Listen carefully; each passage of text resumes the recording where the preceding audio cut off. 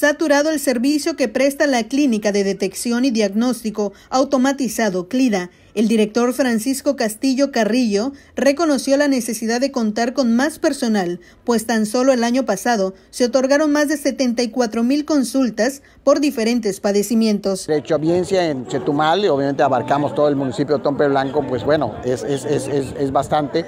Y bueno, nos damos seguro que sabemos que necesitamos también más personal, ¿no? Pero bueno, en eso estamos trabajando, la delegada, la doctora Marina está trabajando en ese sentido, pero pues lo que esperamos ahorita es continuar con mayor atención a la, a la derechohabiencia, en mayor calidad de nuestros servicios, en mejorar los servicios en la farmacia, en mejorar los servicios en el laboratorio, sobre todo en la atención.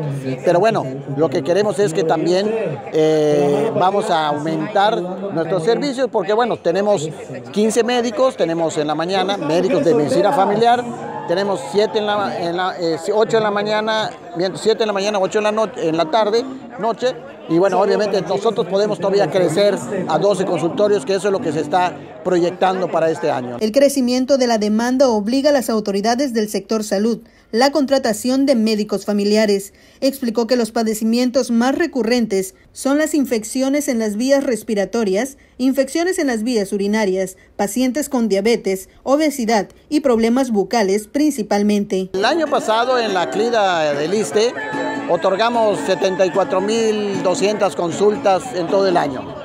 Principalmente la mayoría fue en mujeres, hombres también, pero principalmente en mujeres. En el CLIDA tenemos el servicio de medicina familiar, otorgamos consultas de medicina familiar, otorgamos consultas del programa MIDE, que son para pacientes diabéticos, otorgamos consultas odontológicas, nutrición, psicología, activación física, o sea, hacemos una serie de, de, de, servicios, prestamos servicios, así como también de vacunación, de toda la cuestión de la prevención, ¿no? Papa, eh, Papa Nicolau, prevención del cáncer de mama, damos, eh, hacemos radiografías, estudios laboratorios, o sea, hay un servicio amplio. Cabe mencionar que el Instituto de Seguridad y Servicio Social para los Trabajadores del Estado, ISTE, tiene una cartera de afiliados de 185 mil derechohabientes en todo Quintana Roo. Para Notivisión, Rosy Dorado.